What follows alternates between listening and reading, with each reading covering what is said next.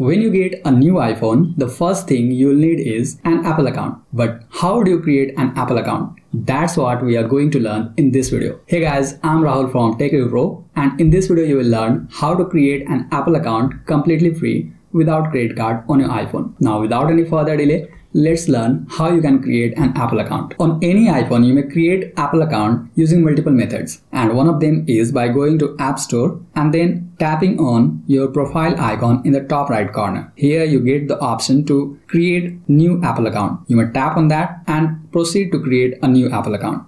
Another method is by going to iTunes Store. For that, simply go to iTunes and then continue. And if you just scroll all the way down, here you get the option to sign in. So tap on that and then you get the option to use existing Apple account and create new Apple account. So tap on create new Apple account and then you will be able to proceed to create a new Apple account. And the third and the most popular method to create an Apple account is by going to settings. For that tap here and here you get the option for Apple account. Tap on that and next you will get these options. And by the way just a recap earlier this Apple account used to be Apple ID, but now with iOS 18, Apple has changed it from Apple ID to Apple account. Here you get these options and these options are used for signing in to your iPhone. But since we don't have an Apple account yet and we want to create an Apple account, so we will choose this option that says don't have an Apple account. So tap on that and then we are in the interface of creating an Apple account. So enter your name, first name and last name here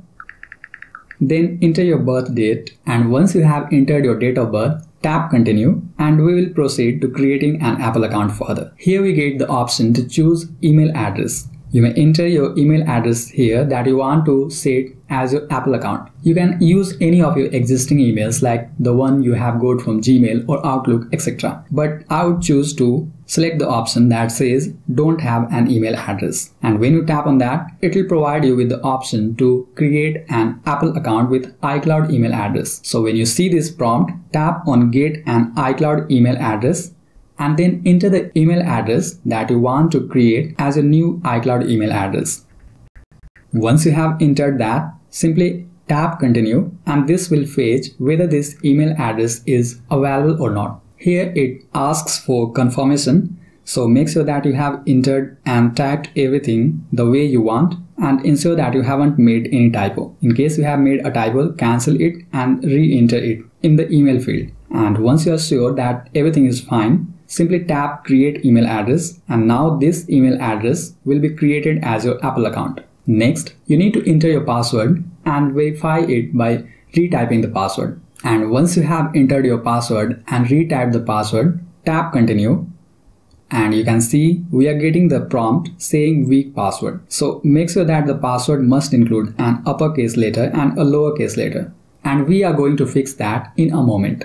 Alright, once you have entered the password, tap continue and hopefully this password will be accepted. Now on the next screen, you get to verify your Apple account by using a phone number. You may either verify it using text message or using a phone call. For that, you will have to enter your phone number here. So I'll simply enter my phone number here and then tap continue and it will send a verification code to my number.